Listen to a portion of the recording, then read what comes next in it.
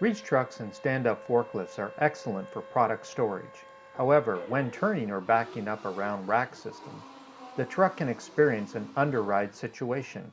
What is underride? This is where the truck chassis can back up under the rack beam. Death or serious injury is the result.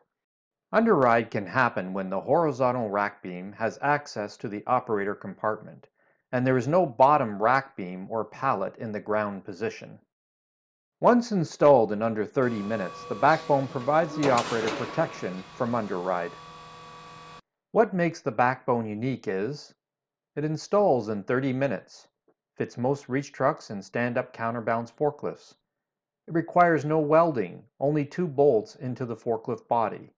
The backbone is the only retrofit rear guard that meets the stringent ANSI B56.1 standard for lift trucks. The backbone is simple to install. Remove the backbone and installation kit from the box. Be sure to read the instructions first.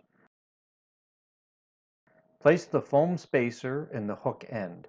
Hang the backbone over the overhead guard. Mark two holes with the truck body where you will drill.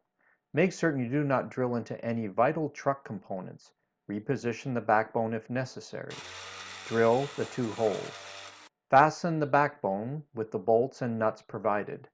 Tighten the bolt at the top holding the backbone against the overhead guard. The backbone is held snugly against the guard by pressure alone. Do not drill into the overhead guard. This will weaken this important safety feature. Fasten the cushion pad with the straps provided.